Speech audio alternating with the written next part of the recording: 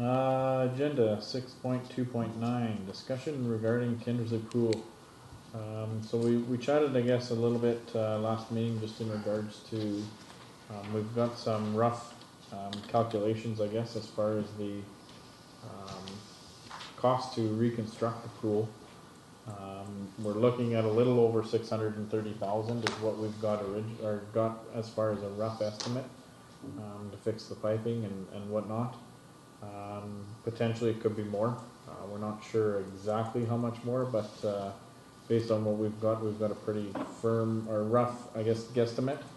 Uh, moving forward, um, I'll, throw it out there for discussion as far as, um, what next steps, I guess, we wanna kinda look at, and, um, one of the options definitely is to refurbish. Um, another one is to destroy, and I don't think we need to make that decision today, but it's just to create an awareness and discussion around, uh, some of the options that might be available. Councilor McTaggart. Um, the pool's been shut down since, uh, June twenty-third, two thousand fourteen, so it's been shut down for two years. And I guess the thought at that time was we were gonna shut it down because we were planning on building a new pool. Uh, since then, we've, uh, kind of, we did a pool review, a new outdoor, pool, it probably cost us four million bucks or in that range, I guess. Uh, and, and a new indoor pool would be eight million bucks. So it's, it's, there's no doubt about it, uh, building brand new is a pretty expensive venture, indoor or outdoor. Uh, we've since then reviewed our five to ten-year capital plans, and we talked about that earlier.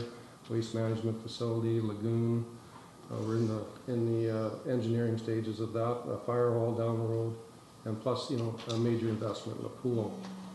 And I think it's time to review the refurbishing of the pool option. Uh, we did an in-house estimate, at six hundred and thirty thousand bucks. Uh, We have in reserves at the end of two thousand and sixteen, uh, five hundred and seventy-five thousand dollars, uh, town of Kindersley donated funds, plus seventy-two thousand, one hundred ninety-five dollars and sixty-five cents of fund-raised, uh, revenue as well. Um, The, the RM of Kindersley passed a resolution at their last meeting that they would support refurbishing of the pool up to two hundred thousand dollars, or thirty-three percent, whichever is lower. So basically, the town of Kindersley, uh, including that donation, would end up paying a, what we're proposing here as a six hundred thirty thousand dollar budget, the town of Kindersley was responsible for 430,000. So we spend six hundred and thirty thousand dollars refurbishing the pool, and I, think we'd probably get five to ten years out of it after that. Uh, the, uh, realistically, I don't think that the town of Kindersley is going to be able to afford a new pool for a minimum of five years, and at that time, uh, we still won't be able to afford it unless we get a government grant to go ahead with it. I think that's pretty, you know, pretty, uh, self-explanatory, and I think everybody around here realizes the financial position of the town. Uh, I think what, uh, I've talked with Councillor Smith about this, what we'd like to propose is, uh, starting construction in two thousand and sixteen, finishing in the early spring of two thousand and seventeen, and opening an outdoor pool in the town of Kindersley in the spring of two thousand and seventeen. Giving, uh, over winter time to train lifeguards and, and, uh, get things going. So that's the, kind of the financial end of it. Of course, with the RM's, uh, uh, donation of two hundred thousand dollars as a max, it makes it certainly a lot easier for the town of Kindersley to take a look at this, I would think. Do we have the social license to go ahead and, and do this, which obviously we need, uh, this will be a community project, I hope. So if we do nothing, there will be no pool, from my perspective, for a minimum of five years, and only then if it's supported by government, government grants. Uh, during the next five years, if we refurbish this pool, we can take a look at seeing whether or not it is viable to cover it. It may or may not be, but at least it would give us time to, to look into it. We also have a former resident of Kindersley who is a pool builder, uh, Soren Crack. Uh, I'm not sure some of you may be familiar. He used to run- a welding shop in Kindersley for years. Moved to Kelowna and has been building pools there ever since. He's built 25 commercial pools and numerous uh, private pools over the 13 years that he was in business. And him and his uh, friend Jim Massey would like to come back to Kindersley and uh, do something for the town of Kindersley and, and help them refurbish their pool. He's very confident. He did an on-site inspection, as everybody here knows. He's very confident that we can refurbish this pool and we can get it up and going uh, by 2015, or 2017, sorry. I think it should be a community project, and by that I mean that we put it out, we get Soren in to uh, get the pool up and running, the town of Kindersley would take care of getting the building going, and uh, we would take advantages of services in kind for, or provided by some of the people in Kindersley. There's backhoes, there's, there's uh, pickers, there's all kinds of things that can help out as far as that project goes. So I guess the proposal that uh, I would like to put forward too, and, and is supported by Councillor Schmidt, that we approve a six hundred and thirty thousand dollar budget to refurbish the pool. We contact Soren Crack to complete the pool portion of the refurbishment. The TO, the town of Kindersley would complete the building portion, which is, there's a crack in the wall, we estimated, I think it was around hundred grand or something like that to, to uh, do the building. Uh, Yeah, structural repairs, the two walls, a hundred grand, and taking care of the asbestos, twenty-five thousand, so hundred and fifty grand to take care of that.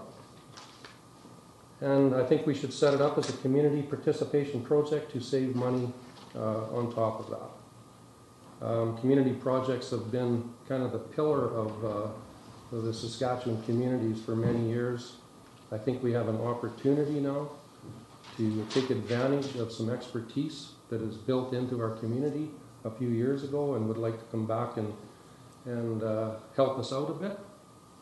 And I would leave it to council to uh, add to that or ask questions.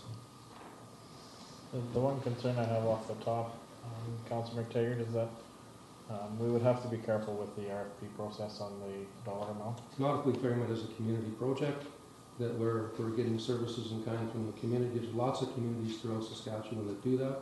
We have community people participate in the project, and so we don't, we wouldn't have to worry about the RFP Okay. process. Any other comments, Councilor Johnson? I, just had a few questions and comments. Uh, one was, uh, procurement procedures, you know, we, we have limits on tendering and that sort of thing, so we just have a chat about that.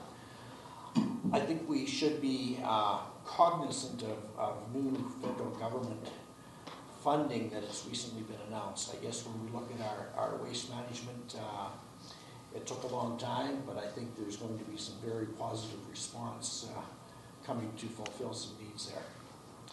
Uh, concerned about costs, when we say, I, I, I think, uh, every project tends to have additions and that sort of thing, and I guess how far do we wanna go? And I guess I look at the donations that have been made to date, the people that have raised money, was that for refurbishing, was that for a new pool, and or what commitment was made with the dollars that have been raised so far? So, I, I understand uh, Councilor McTaggart's point of view, uh, and I hear those comments loud and clear. Uh, I gotta think on this a little bit. I just wanna be very careful about, uh, the next thing we spend a million bucks, and, oh, there's a government grant, we could've got way more government grant on a new build as opposed to refurbishment. So I think we wanna proceed with caution. As far as the donated money, we wouldn't have to touch that, that'll still be in place. Uh, we have five hundred seventy-five thousand dollars as of the end of two thousand sixteen of TOP, uh, taxpayer money put in place. The fundraising money that's hundred seventy-two thousand and change would not be touched. It would still be there for, Future. uh, uh, for future use. Uh, my two concerns, I think you, you touched on one, Councilor Johnson, in regards to, um, the Build Canada one fifty grant, and that's something that Recreation has recently opened up on that, that level. Um, I think we would be extremely fortunate to think that we are gonna get, um, two successful bids. Um, as much as it would be nice to, to think that could happen, um, I think the government would pick our priority, and then definitely the landfill is our priority there, but, um, we'll definitely send in the application, it can't to try kind of thing. Uh, my other piece is that, um, I, I guess I would kind of negate the overexpending. Um, we really built our roads this year and we saved a lot of money because of the economy the way it is and, and we had some really good savings, so. Um, I would agree with Councilor McTaggart that if we're gonna do something like that, this is probably the time to get savings. Um, having said that, my worry is how long it runs, and is it five years, is it three years, is it fifteen years, how long does this, this refurbishment last? And that's really a, that's an unknown for me as far as, do we spend this money now and, you know, let's say it lasts eight years and that's really great, does that dwindle our, um, motivation to build that new pool?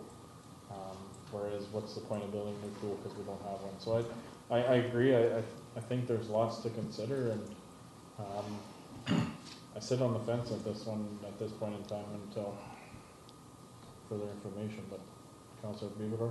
Thank you, your worship. Um, I, I too am sitting on the fence on it, but, uh, Councilor McTaggart did bring up some glaring points that, my God, if we don't act on this, we're gonna be sitting five years minimum without a pool. Uh, my, my greatest concern is, is that six hundred and thirty, I know, I'm talking of the big group of money, is that enough? Is that gonna get us water in a pool? I know there's, there's, a- we still haven't itemized or seen all the big, problems yet. True, that's what our estimation is now. Let's hope it stops right there. Right now, I'm in favor of but let's hope that that's the total. I think we owe it to our kids in the community to, to give them a pool. And if six hundred thousand, and maybe we can do it less, maybe a little more, but I think we owe it to get a pool going. If nothing else, we've sat on this for two years and, and we were always hoping that we'd be, have some federal, provincial government money. We realize that it's not there and it's not going to be there for a long time the general coppers aren't there. I think we owe it to them. I think we have to work it as a community and make it happen. And we do have some participation from the RM, which we need and we can appreciate and take advantage of it now. Anything from yourself? Well, we can take the money that we have today and get it invested into a pool and keep going down the road we have and, and have something for the next five years, I think that, that's great. But I don't wanna, I don't wanna have something that ain't worth having either, you know, don't have something that's baler twined together, cause that's just gonna cost us more in the long. I, I, I don't know where our next steps are. What, do- what do we do? So we start out, we agree that it's okay, we're gonna take this money, we're gonna move forward, where do we start? We start by fixing the pool basin itself and the drain lines. We get them fixed up and cleaned up and, and go from there and see if we run across a larger problem along the way. Or what kind of, what are, what are the next steps? What do they look like from here if we agree to, to move forward? The way, the way that I understand it from talking to uh, and uh, talking with Tim a little bit as well, like we did the pressure test, I think everybody realized there was leaks. We did a pressure test and, you know, we were right, there's leaks, there's no doubt about it. So the idea that, uh, uh, that Soren has brought uh, forward is that you basically take a cement saw, you cut around the edge of it, you take all the old piping out, you put all new piping in, he feels that the basin is repairable, it needs to be painted, maybe sandblasted, but as far as the basin goes, he feels it's, it's in good shape. You take out all the pipes, insulate them, which will, you know, give you a better, uh, you know, heat transfer, you're not losing heat through the ground, plus winterization of the pool will become easier, easier.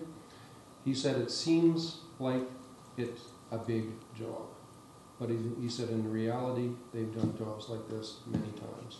And it won't be baler twined together, it'll have to match up with any of the codes and, or anything like that that, that is out there for pool, pools to be, so I am very confident that he has the know-how uh, to come in here and do a professional job at revitalizing that pool. I'm very confident in that. And there's several people in the community that have known Soren over the years. Um, and I think if you found those people and talked to them, they would be very confident as well. The key here, in my mind, is community participation.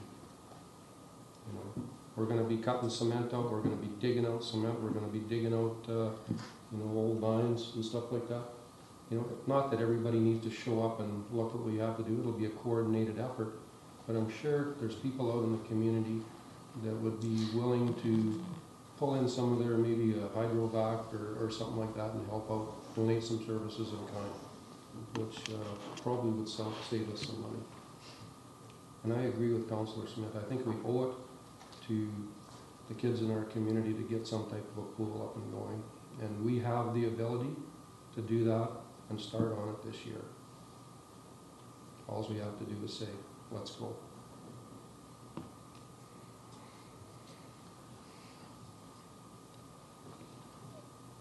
Counselor Johnson? Uh, I'll uh, direct uh, this question to Tim and perhaps Bruno, I guess, when, when we talk about asbestos removal, is that twenty-five thousand dollars seem like a reasonable price? Is that a bad question? I I guess to answer your question the best I can, it depends on how much penetration they have to make in the block walls. If it's significant, then that dollar value will increase. It's really hard to get a firm price from any abatement firm because you really don't know until you start to get into it. Okay, based on the repair process being recommended by the engineer, there shouldn't be a lot of disturbing of the asbestos, but there will definitely be some. So that, at least answer part of your question. It's, it's a tough call. It's an No, unknown. It, it may be plenty or it may not be. No, that's good, thank you. Counselor Schmidt? Wh- Whether we take that out today, tomorrow, or ten years from today, that cost is to the town. We have to deal with it. If you're refurbishing the existing structure, yes, if you're removing it, then You still have to deal with it. that's right, but you're dealing with it, if you're removing it, you're replacing it with a new building. But you're still dealing with the asbestos, at the same cost. Still has to be bagged, it still has to be transported. Counselor McTaggart? I think it would be unfair to expect council to vote on this tonight. Although, if we had four votes in favor, I'd be more than happy to move on it. But I think the community the community uh, participation in this decision is necessary as well. I'm, uh, pretty sure that, uh, you know, this proposal will come out in the community. There'll probably be a lot of talk over the next couple of weeks about how we should move forward. But I think we should be prepared to make a decision one way or the other at our next meeting. Uh, Two weeks is, is more than enough time to have the community talk about it. It's more than enough time to answer your questions, Counselor Johnson, or any other questions here. Uh, We can talk to our neighbors, find out what they think. I'm sure there's gonna be a vast uh, difference of opinion here or there. But I think we should put it on our agenda for next week and we should make a decision, one way or another. We told the community after we passed our budget that we would, we would come out with some, uh, pardon me? Public policies. Public policies regarding some of these big projects. This is one, we've talked about the lagoon already tonight. The, the waste management facility will be coming up at the end of June, we've talked about that. The fire hall hasn't been talked about, but I'm sure it will be before we're, before the end of our term. So these are the stepping stones that we said that we would do, and we're doing them right now. So I would really like to put it on the agenda for next, next week. I have, a- uh, I will move it, and Counselor Schmidt, uh, Schmidt will second it for sure, and we'll put it out on the floor. You have a comment, Bernie? Um, So if, if council desires, uh, we would be happy to prepare a report that provides options for council in terms of the pros and cons. There's some things that have been raised, uh, in terms of our commitments under the, our legal commitments under the new West Trade Partnership, uh, that speak to procurement. Um, Two hundred thousand dollars for construction, seventy-five thousand dollars for goods, seventy-five thousand dollars for services. Anything that's at those amounts, we're required by law, by the trade agreements to tender. Um, There's things that need to be uh, considered, and we can provide options reports in terms of the refurbishment option, which is sort of an elaboration to the information that uh, has been provided uh, before. Also in regards to updates on the new Build Canada Fund, so recreation is now part of the new Build Canada Fund in terms of what the funding distribution of that uh, will be, it's either twenty-five percent share municipality or seventeen percent share municipality. So these are questions that we didn't know a month and a half ago or two months ago. It's now information that we do know. We did hear specifically from the minister when we met with him at the city mayor's uh, caucus, which our mayor asked that question. Is recreation funding available? Specific question to the pool. And the answer was that this is now eligible. Um, We didn't have that in, the old Build Canada fund, that wasn't eligible, so the new is, so. In order for- to help council make an informed decision, if council wants, we're happy to provide a full options uh, with details report for your consideration. Councilman Taylor? Uh, Thank you, Mayor Henry. I'd be very interested to find out if there's any legal objection to a community in Saskatchewan moving ahead as a community project and any legal obligation that they would have to put it out for tender. It'd Be very interesting to find out whether we'd be hamstrung like that, but I would really like to find out. Yeah, I think it's less about um, how you define the project, it's more about uh, good services for construction that you're actually doing. And the, so if those are in-kind services that are being provided to us, then obviously it's not. But if we're having to cut a check for those particular services to any one individual or any one company, then we're bound by those trade agreements, so. um, But we can certainly provide that information um, to council with legal commentary as well from our solicitor. Can I ask through to yourself, Bernie, um, through to Tim? In your dealings, and your experience dealing with this, Tim, have you, have you gone through this process where there's been something that, not necessarily even a pool, say, but a, an arena or something that has been on, kind of on its last legs and looking to refurbish and gone through that process? Would, would this be something of recommendation or something that you've gone through and experienced and how it turned out? I guess over my career, there's been a number of facilities that I've been involved with that was sort of mirroring their end of their life expectancy. And we were able to go in and make some significant improvements to extend that life expectancy. Uh, indoor pool being one, outdoor pool being another, and a couple of different arena facilities and a community hall. So if you're asking me if this is something we should consider, I would say yes. I think um, there's some value in listening to what the public has to say. And the problem you're facing right now is you're going to have a gap between, in a perfect world, you have, you'd close one facility and open a new one, in a perfect world. So right now, we're probably a good three to five years from having a new pool if we do nothing at this point. So I think if the public can provide some input, that may help with your decision making. But it is possible to rally a community around making improvements to a facility to get a longer life expectancy. I'd be cautious that you're not gonna get another fifteen or twenty years out of the pool, but I think you'll get, you know, sort of a five to ten. So, I Yep. guess. Thank you. Any other comments? I, I don't mind, uh, Council McTaggart's suggestion, we bring it back to the next meeting. Um, I agree that the public policy statements, it doesn't matter which way we end up going, you're gonna have pissed off residents. Um, that's to be an expectation, that's, that's the role we're in, and sometimes there's tough decisions, so. I, I suggest, I guess we bring it back to the next meeting as far as a, um, a decision going forward and, and, uh,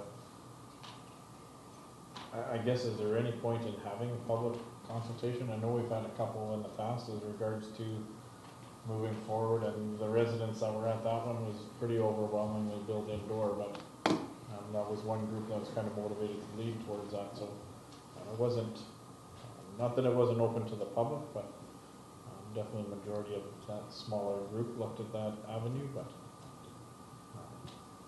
I recall from previous public consultations, there's usually a few key people that come in and speak very loudly. And there's usually another group that comes in and tries to drag, drag funding towards another project.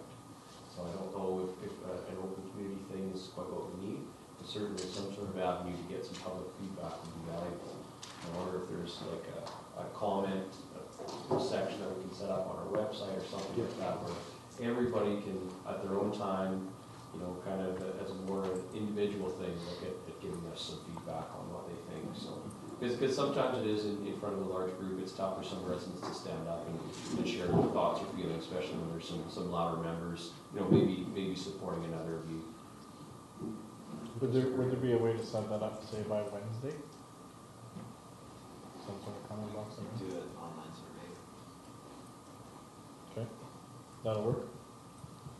Good. Okay, so we'll bring it back, uh, in two weeks? Thank you. Did you want to report? Yes, please. Yeah, I think so. Um, something with uh, a couple options, um, in regards to both, both processes, it's, uh, it's too bad we didn't know that this bilateral agreement would be signed if we were pre-approved for something like this, but as far as that Building Canada one fifty fund, now that it, uh, fits in, but that process, according to Minister Sohi, is we're looking at, uh, April or March of twenty seventeen, that the applications have to be in by. Um, so, I mean, that would be another year and a half away before the application has to be in, that's not even an answer, so. That's next year. Uh, no, it'd March be- seventeenth, It'd be, the application's Oh, gonna yes. be March seventeenth, so less than a yeah, year. that's right, yeah. Do you think there's gonna be a lot of applications for proposed? They already, they already probably, I can't remember what the numbers were, it was one point three billion, and they only had a couple hundred million, so. um, For sure, there's, there's a lot of projects on the go. And opening up the recreation, you're gonna see arenas and everything else from every other community as well. So. I don't, I wouldn't have my hopes held high. We'll, we'll send it in as part of the process, but. If anyone wants to phone their local MLA and put a good plug in, now would be the time. Um, anything else before we move on? No, next agenda item